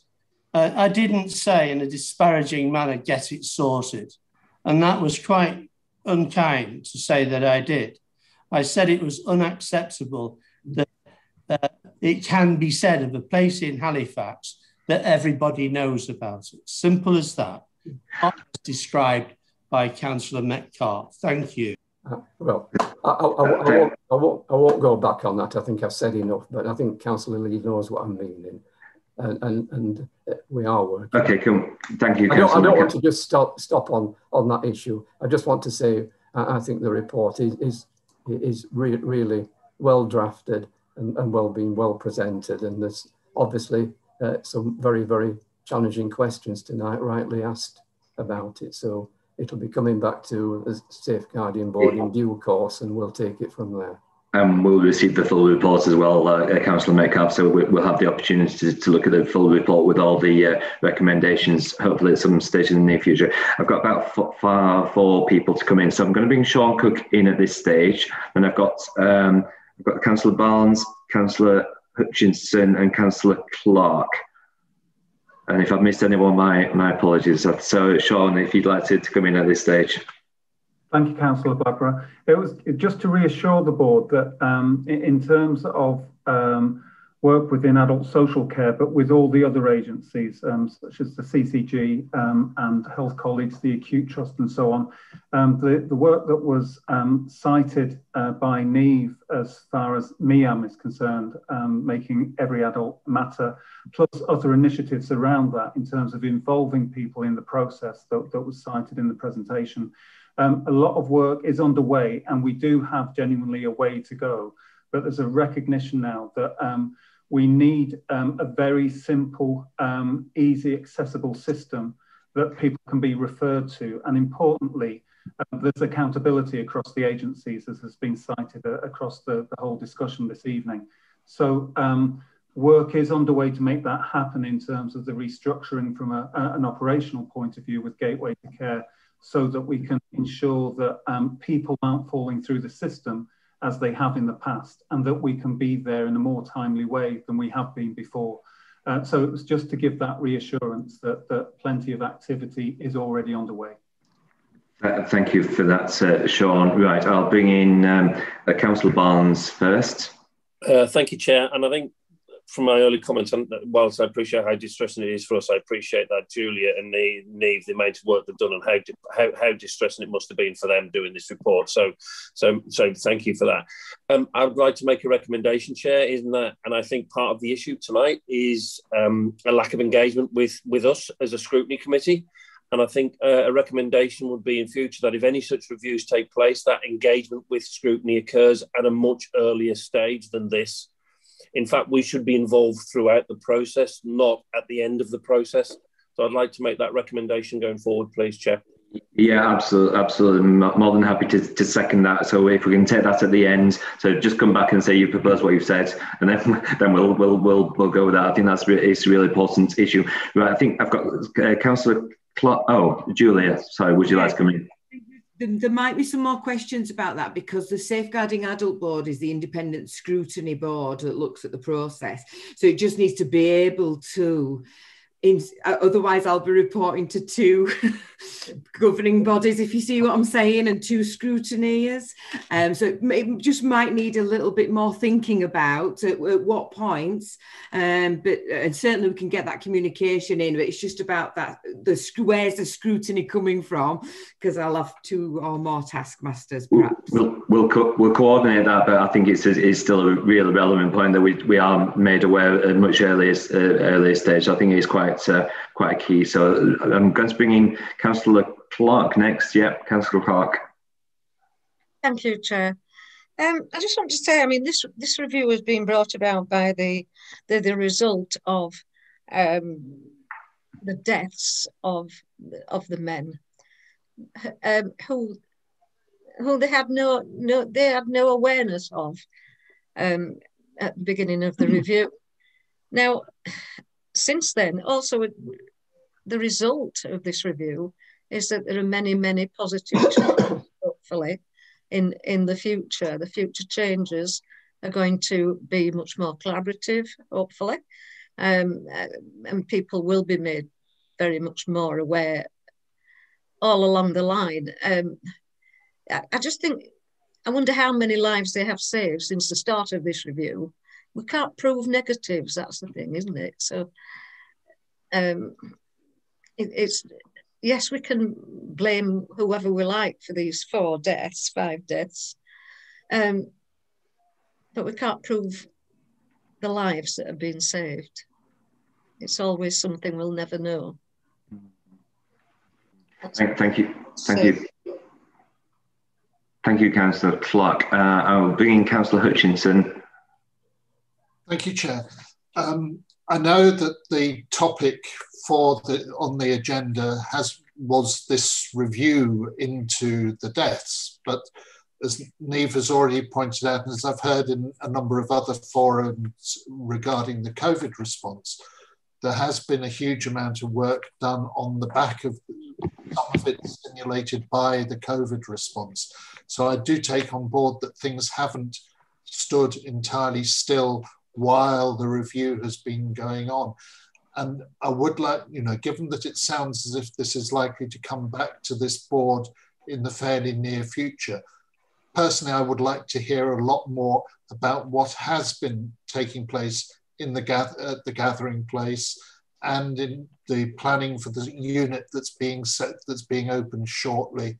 Um, and so there's also mention about um, possible involvement of uh, house, housing services in prisoners' early release, so that they can, so that you can try and avoid some of the housing problems or short circuit them. So I think there's a lot, probably, you know, I'm assuming that has gone on concurrent with the produ- with the drafting of this report, and I think it's just a shame that that's kind of been separated from uh, from consideration of the report by itself. So if, if it does return to the board soon, I would like it to take that into account as well. That's a really uh, useful um, uh, uh, suggestion, uh, Councillor Hutchinson. That's something that I think is uh, would we very much welcome. Uh, you know what, what's happened since and, and COVID, of course. Right, I've got Ian Bain. So, Ian, would you like to come in at this stage, please? Um, thank you. And I, I, I, I want to kind of start off by saying that I understand quite rightly why people are so angry. I think all the officers that have been trying to work through this area are as equally as angry. The important thing that I think we need to recognise is how do we operate differently to ensure that these things don't happen again. I started my social work career in London in a um, homelessness project, uh, quite a famous homelessness project. And some of the things that I faced as a as a newly qualified social worker, these are the cases that the four cases, five cases we heard about today, were the very things that are happening in the mid 80s. So we do need national policy change. We do need a different approach. But I think one of the things that I think is really important, I think one of the learnings I'm taking from gathering place is the key difference gathering place made is we put the services to the people. We didn't ask people to navigate a system that's really difficult for most people to navigate. Actually what we need is people who will you know I'm, i've heard people historically talk about people who are who are just hard to engage or they are um, or they will simply not be compliant with what we want ask a homeless person who's lived on the street for a number of days to turn up for an appointment at a, at a point in time, um, the likelihood is they're not going to make it at that time on that day. But actually, if you can wrap those services around and take those services to people, then they are more than willing to engage. I think if there's nothing that we take from today, it's about how do we make sure we can bring those systems and those services to people rather than expecting people to navigate them when the majority of us would struggle along that way. So, I, you know, I, I tend not to try to be angry in scrutiny, uh, and I do try to play the officer that's going to be neutral. But actually, it does worry me that that we can still think we ask people to fit into systems when actually one of the easiest ways to do this is to bring the system to people. And I think gathering place is testament to that. And if that's the heart of our model, then I think we've, we've made great progress. Th thank you, Ian. So I'm going to propose, on the back of uh, uh, Councillor Barnes' uh, suggestion, that this, this panel wishes to work with the Safeguarding Board to ensure that there is a mechanism in place to ensure that we are notified at the first opportunity of any serious uh, cases. Do I get the? Have I got the gist of that, Mike? Some something on those lines. I, I think. I think. I think. Yeah. I think the word engaged. I, I, I, think engage with is is a good one, and I appreciate Julia's comment that yeah, she doesn't want to be um, uh, beholden to two to two masters. Yeah. Um, which actually was a very good play if you ever get a chance to see it. But there we go. Oh no, yeah, but uh, there we go. But but I think if engage with us at, an, at the earliest yeah, possible moment. exactly. So I'll I'll, uh, if I'll, I'll, put that as a proposition. So if I uh, Mike and you second that as as you pretty much propose it, but yeah, uh, I'm pretty much in favour of it. I've just reworded it. That, that's all. So it's, uh, uh, Equalad, you know, really do want to thank you for uh, bringing the interim reports this evening, and, and I know you know, it was. Uh, I'm pleased we, we, we, spoke over the phone with with uh, with Julius. I'm pleased we had that conversation so that actually we were able to bring it to this panel this evening, so that members were aware and and raised some really serious and important uh, uh points as well. So, so Julie, uh, thank you for that. Neve, thank you equally for, for presenting and answering some of the things. And Marianne, thank you for, for being chair. It's, it, it's, it's, it's quite a, a daunting task to have to, to do to, to actually deal with something on these lines. Uh, Helen, you, you're going to come back in. Sorry, I was just wondering if I could make a suggestion because I'm really aware, having been to so far, far too many of these scrutiny meetings, that scrutiny obviously did a big piece of work that kind of looked at learning from COVID and how COVID had impacted services and things like that. And I just wonder if there's something about tying together two different threads here, where actually we've got a lot of learning from COVID about how we can work with some of our most vulnerable people, particularly people who live in street-based lives, and whether you know if there's ongoing work that the scrutiny panel is doing related to learning from COVID, whether actually these two things could, you know, there could be some uh, synergy between those two things and, and have yeah. some captured together. Perfect. Thank you, Helen. Mar Marianne, did you want to, I think you've got your hand raised. Did you want to come back in? Yeah, it was just to say, you know, I really welcome uh, the views that have been expressed and I understand the frustrations. Um, but, you know, the safeguarding adult board is is there for everybody in Calderdale, you know, and I'm the chair of that board, and I'm your chair, uh, councillors. So you know, if there is something where you feel there are vulnerable um, adults and there are some concerns in your wards, um, then you know, feel free to contact me or Julia, somebody from the team, and flag up those concerns so that we can seek assurance that those things are being tackled too. You know, it's important that we work together. Um, so, you know, please, um, you know, we are board too. Yeah, fantastic. Can I just ask you, Marianne, in relation to uh, the CCG's involvement, because we, you know, clearly we, we haven't got the representation uh, tonight, and we'd like um, we'd like to, to know, you know, really, well, we'd like to hear from them directly, which will be formally um, uh, requesting them to attend a scrutiny meeting. But um, just wondered if you'd had any uh, interim uh, views on that at all surprised that they're not here, to be fair. Uh, I mean, certainly we, uh, we, get really good support from the CCG, uh, both at that strategic level, but also with the with the safeguarding um, named nurse for, for adults. Uh, Luke uh, is really, really supportive and very much been very, very much uh, a key person involved in this review with Neve. So um, I'm surprised. I'm really surprised and disappointed, like you, that they're not here today. Yeah, I, I, absolutely. They know what sort of a show I am, so I'm, I'm fairly fair, and so we, we, don't let anyone go away upset or anything like that. That's um, Councillor Hutchinson. Do you want to come back in on on that? Um, yeah, I also wondered about uh, Southwest Yorkshire Partnership Foundation Trust as well, because certainly questions have been raised about dual diagnosis and whether there's the services that are available for that, and. Uh, you know, I, ju- I just wondered, you know, we haven't had a chance to hear from them their perspective on this. I don't want to re- replicate what's gone on in the Safeguarding Adults Board, but I do think they're one of the key players. So whether they could be invited uh, or required or invited as well as the CCG. Okay, so if I have it on authority, can I, I take it on board that we can put something together with um, with Mike uh, Mike's going to come back in and explain exactly what he's going to do. uh, I just wanted, I'm, I'm, I'm, I'm sorry, Chair, I'm going to get all governance now. So that if you um, you have powers under the local authority public health health and wellbeing boards and health, health scrutiny regulations 2013 to formally request that uh, a body come a health body comes to, to to discuss an issue with you you have to do uh, three things i think you have to invite them you have to give them reasonable notice and a date when you'd like to talk to them and you have to give them uh, an indication of what you want to talk to them about um, and I think you know what you want to talk to them about. So that would be about, if you like, their response to the, the report and the presentation you've heard this evening. But if you want to make it a formal request, then you have to formally resolve those things. Um, and I would just say that if you do do that and decide, I mean, you could do that now or you could do it at the end of the meeting under the work plan. Uh, but if you invite them to the next meeting, you will have to do some work plan rescheduling. Thank you. That's okay. It, uh, uh, Marianne, sorry, do you want to come back in on that one? What I was going to say is once the report is published with its uh, recommendations and an action plan, it will be really clear the engagement of the different health providers, you know, where they're featured in the report in terms of providing services or not, and in terms of any recommendations they need to take forward as a single agency.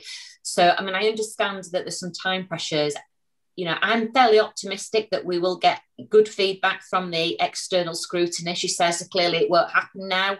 Um, and we will be we'll be in a position to publish pretty quickly. Um, and I think probably seeing that report, seeing the action plan, um, and where we are up to with the action plan will probably give you some assurance. And at that point, you could actually identify if there are particular agencies that you'd want to to invite to that meeting.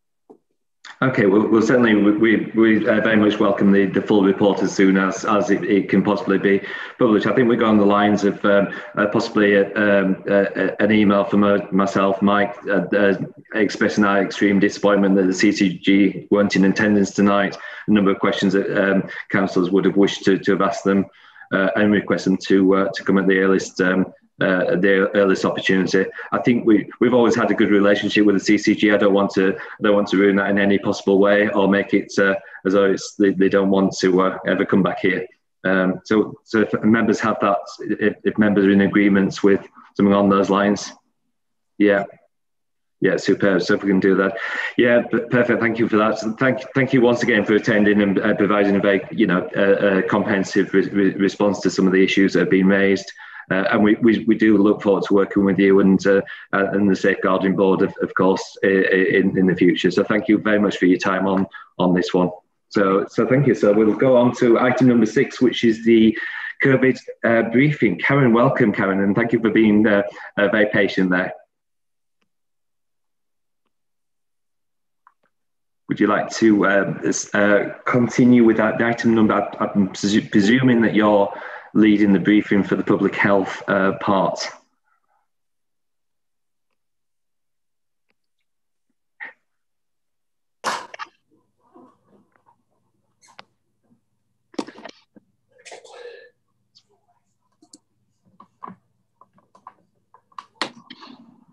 So, Karen, would you like to uh, present uh, the briefing on the public health part? We're having technical difficulties. I'm not quite sure. Yes, Chair.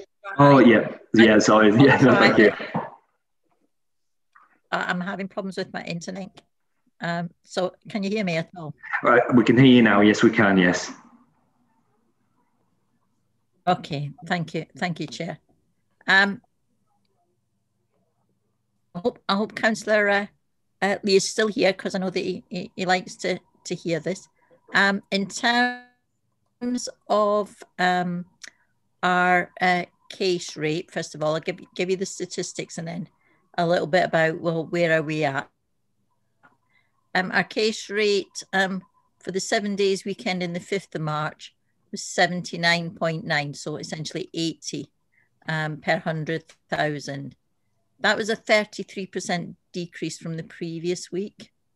Um, in terms of our over 60 uh, rate, it's uh, 48 per 100,000, which again is lower than, than the previous week. Um, we're currently bottom of the, the reverse league table, which is good uh, in West Yorkshire. and our positivity rate is down to 4.4 for the weekend in the 9th of March. Um, that's higher than England, a bit higher than England, which is 2.7, um, but it's lower than West Yorkshire, which is 5.3.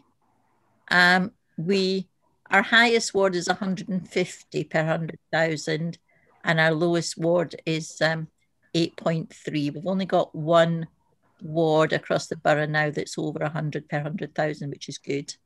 Um, and so we've seen decreases in a number of wards over the past uh, two periods, uh, particularly in Park, Elland, and Calder. Um, our rate, the highest rate is it continues to be the 18 to 24 year olds, and that's 157 per 100,000. Um, and as I say, it's 100 per 100,000. Um, on Monday, that had a 74th highest of the English local authorities um, and 10th highest in Yorkshire and Humber. Um, and as I've said, at lowest in West Yorkshire.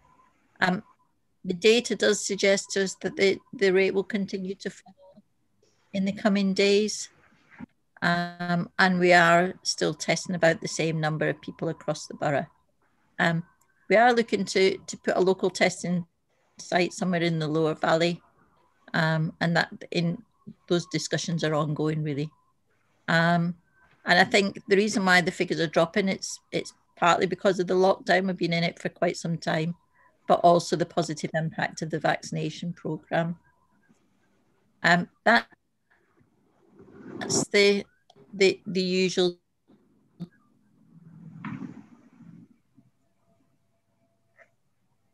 Just lo losing Councillor Lee, is that all the information that you usually require? Councillor Lee, is that everything you need? Sorry. It's okay, Nams. Um, thanks, Karen. Just a couple of things. Um, on the testing, um, what was the percentage posi positive rate? Is that as well? 4.4. 4.4.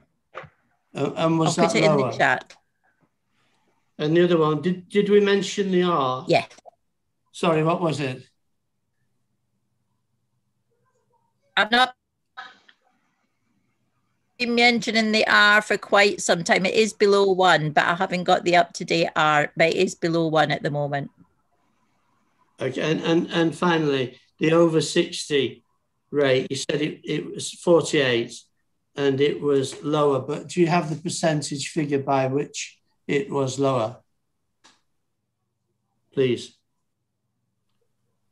Um, not not on me, but I will email it to you on Monday if that's all right. Okay, thanks, Karen. Okay, thank you, uh, uh, Councillor Okay. Lee. Uh, thank you, Karen. i will take questions. So, Councillor Whitaker, please. Um, Oh. I was going to say, do you want me to do vaccination as well? Y- yes, yes, please. Yeah, please. If Go you don't first, have to. Chair. Yes, yeah. If you go first, yeah. If you go with the vaccinations, that'd be good. Yeah.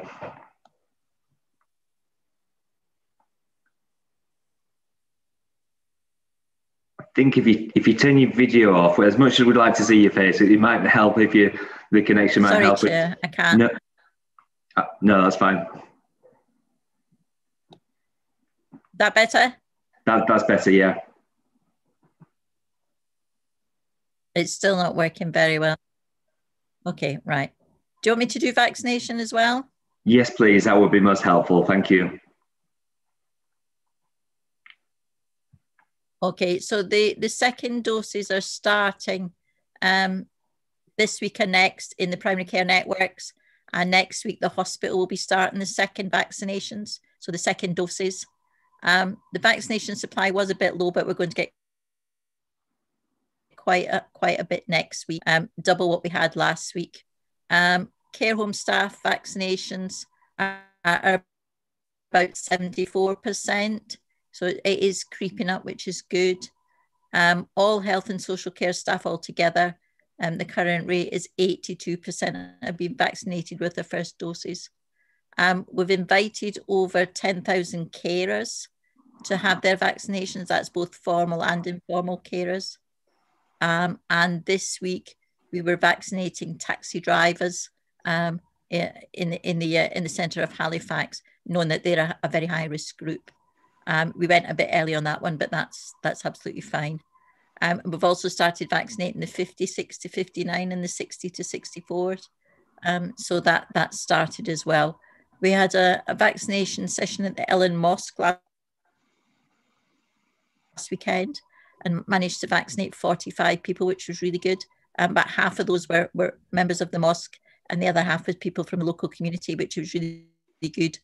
Um, both catching, catching people who use the mosque, but also getting the local community coming into the mosque um, to, to have that vaccination. Um, we're going to continue with doing some more pop-ups in the mosques. Um, and obviously we've got to think about Ramadan coming in April continue. So we're, we're thinking about that at the moment. Um, in terms of what does this mean? Well, I think as you know, we're doing well. The, the figures are, are, are reducing. Um, but it's inevitable that as lockdown eases, we will probably see more cases again. Um, we're updating our uh, updating our infection and outbreak plan at the moment, so we'll be focusing on supporting schools as they open more widely, engaging with businesses, scaling up our community engagement, which we know works really, really well in Calderdale, um, and also looking at our uh, further localisation of our, our local contact tracing support uh, vaccination program. We vaccinate those most uh, in need of the vaccination, and, and I lead a group that, that looks at each of the cohorts and making sure that we, we get the right cohorts through vaccination, and obviously the communication that goes with that. So that's where we're at at the moment, Chair. Um, and I'm happy to answer questions, but I'm struggling to hear people, I'm afraid. Sorry. Yeah, no, no, thank you for, for trying your best in terms of the technology. Um, Councillor Whitaker, you have a question, I do believe.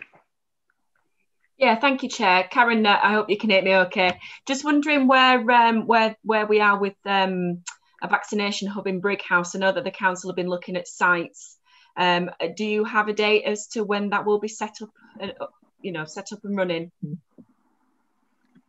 Um, it, it's a testing centre in in Brighouse. It's not for vaccinations. The vaccinations are already happening in um, in that primary care locality It's about an extra testing centre in, in Brighouse rather than for vaccinations. What we are looking at at the moment is around um, perhaps having some more pharmacies uh, have doing vaccinations, and we are looking at a pharmacy uh, in the Brighouse area that, that could do that. Um, I think expressions of interest are in now, and we'll be making a final decision. I think we've got to make it this this week. Um, and that goes back to the National Centre for them to, to progress that. Okay, thank you for that. Uh, Councillor Hutchinson. Uh, thank you. Um, as far as carers being vaccinated goes, how easy is, you know, we know that there's both formal and informal carers, and that some people have more than one, one carer, who, and it's obviously important that everyone involved with the, the care of an individual is, is, is vaccinated. Um, how easy is that to actually achieve in practice um, for these people to, to apply for it? And then I also wondered, given that it's great that case numbers are coming down, but that opens up a lot of opportunities then to consolidate the benefits that we that we've had particularly in terms of stepping up, uh, finding, testing, and tracing, isolating, and supporting people. Now is now is the time to actually be making sure that that's as good as we can possibly get it. How is is is that are we going to be doing anything different so that we can make it work this time when it when it didn't last because obviously we've been under special measures since the beginning of august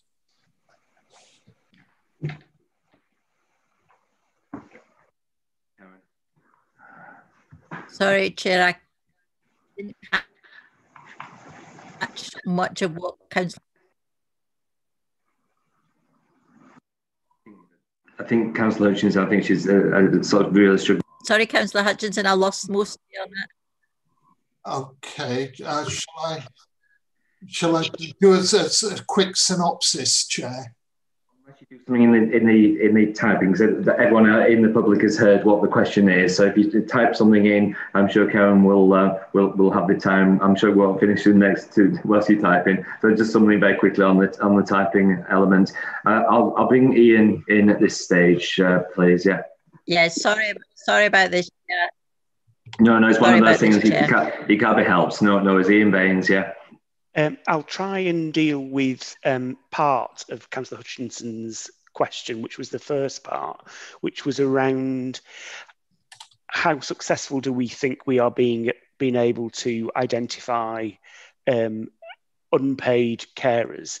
So I think, as, as, Karen said, we've recently just had to upload um, details of um, unpaid carers, and we did that um, yesterday. We had to do one data download yesterday, and that's where the 10,000 figure comes from.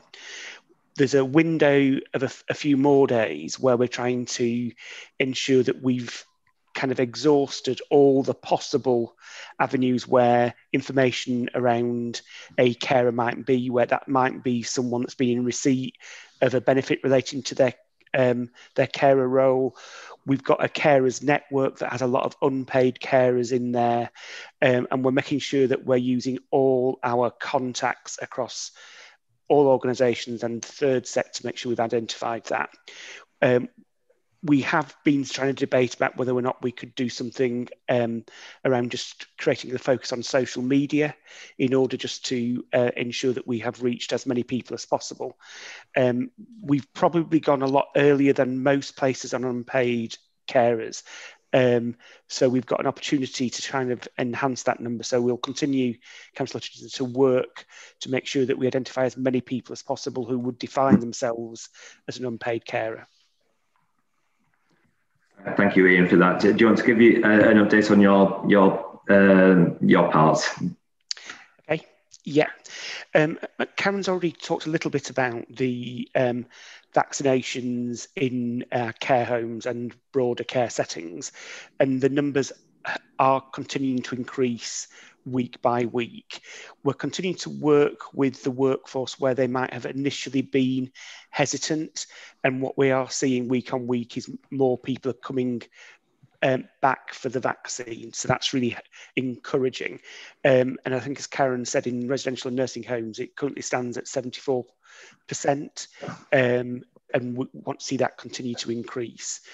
Um, we are seeing, continue to see a small number of outbreaks in care home settings. And currently there are um, five homes where there are an, where there's an outbreak, which is, and an outbreak is defined by whether, a, whether there's one or more cases, would that be staff or a, a, resident. And I think, and I think this is in part, I think part of Councillor Hutchinson's original question as well, which is, whilst we're seeing the uptake of vaccination being really, really um, positive, and it certainly is impacting and reducing the the numbers of hospitalisation and deaths. What we yet don't know is how effective it is in terms of uh, impacting on transmission. So where we've got good uptake in care homes, we're still seeing some outbreaks. So I think what we need to do is make sure that as we move through um, this lockdown into the, through the roadmap, that the staging of that roadmap is really important. That we don't, um, in releasing incrementally, that we don't see those numbers increase um, in, in the direction that we don't want them to go. So I think there is something about remembering that vaccine is a, really important bit, but being able to keep test and trace is essential. But also where we can still stick with those very simple mes- messages around hands, face, and space. And as we get near into this into the warmer weather, although it doesn't feel like that today, is that whole part that ventilation ventil, ventilation will play. And I think one of the things that Karen um, was emphasising was that where we are seeing workplace, uh, sorry, outbreaks, sorry, in, in, increased transmission, it's often in the working age adults in workplaces. So we have to kind of kind of double our efforts to make sure that whilst there's some really positive uh, messages on numbers that we don't let go of those very simple messages that can actually protect each other and um, we can help ourselves get out of this situation. Excellent, thank you, Ian. Um, does anyone have any questions for Ian on that? I can't see anyone raising any questions. So, okay, well, well yeah, no, thank you. Ian, would you like to come back? Yeah. Sorry, I, I, I just realised that one of the things that um, Karen has put in the chat, and I think, and I hopefully we caught this, which is the bit about because we went earlier on paid carers, we've already started to vaccinate um, carers, unpaid carers. So that just takes us ahead of the game, I think. The other thing that we've um, been working with the CCG and partners on is for people with a learning disability, it can be quite um, confusing and quite distressing to be in an environment that's quite busy, quite um, and quite bright. So there have been some very special um, specific clinics that are going to be set up that will be very different to the normal vaccination setup that will provide spaces for people with disabilities to continue to have vaccines in a safe space. Again, I think that's just, again, we're trying to innovate and ensure that the vaccination process is, is a positive one for everybody. Thank you, Ian, for that. Someone else has put something in the chat room. It's got, um, yeah, um, so I'm just making sure we're not missing anything. I'll, I'll, just read it out because it's easier. So it is in the public domain. And it, yes, we, we started vaccinating unpaid carers before the guidance came out. Uh, and Councillor Hutchinson, we are uh, increasing our um, visibility of engagement and we're about to put some media out around the importance of isolating. However, it's still uh, it's still people who have to go out to work. Uh, so we continue to advertise and promote the support to people to isolate. So just for public knowledge on that, so everyone is aware what uh, what the response is. So thank you for that, uh, Karen. Um, I'm sorry you've had difficulties with the uh, uh, connectivity, as as we appreciate. So I think nobody else has indicated to speak. So I'm going to end this item. So thank you for the update on that. We're heading in the right direction, hopefully. Um, so it goes on to item number seven, which is the work programme. So it has been circulated. Uh, we continue to have updates. Anything to add, Alex, on that one? Yes, thank you, Chair. I don't have a great deal to add to the work programme that I circulated recently. Um, that reflects um, the changes that were discussed uh, earlier last month, I believe, when we had a dedicated work programme discussion uh, with officers. And that also provides um, quite a number of ideas uh, moving into the next municipal year as well. Um, the only thing I'd like to add is that myself and Mike had a conversation with the CCG recently uh, where Neil and Debbie suggested that scrutiny may want to have a bit more of an in-depth look at the recently released NHS white paper and sort of some of the implications around that and just um, yeah have a bit more of a conversation about that really. Mike may want to add a bit more to that. Yeah, thanks, Alex. Uh, Mike, do you want to add a little bit more to that, very briefly? Well, uh, uh, very briefly on that, Chair. Yes, um, it's just a matter of, of when you think the, the, timing will be right. Can I can I just come back to the issue of the um, um, decision I think that you took earlier on to invite the CCG and Swift to come back and talk about um, to talk about um, the, the, the street deaths issue. if we do that, I'm, I'm, sorry, I'm going to just repeat what I said earlier, I suppose, but if we do that formally, um, we have to give them a date. If we invite them back to the next meeting, um, I've no doubt that's an issue that you'll want to discuss in some detail with the CCG and with and with Swift. Um, and the two items that you've currently got on the work plan, um, the social care market and the issue of uh, prevention and early intervention arising from your previous discussion about 42 Market Street, they're both substantial items. Um, so uh, if you, I think you just need to have a bit of a think about that. If you want Councillor Blackburn to write formally saying we're request, requiring you to attend um, to talk about the, um, the, the streets deaths issue, then um, you'll have to give them a date. And, and the, the options for you are next meeting, April the 8th, uh, and then you've got two other substantial items on that agenda. Uh, wait until after the election and do it in June, um, or arrange another meeting.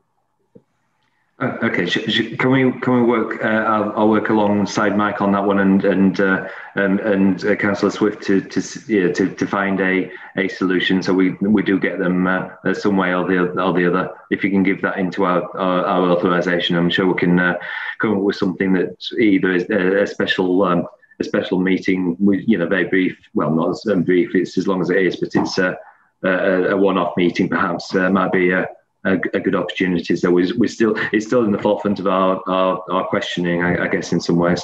So if that's okay with members, is that okay? Yeah, superb.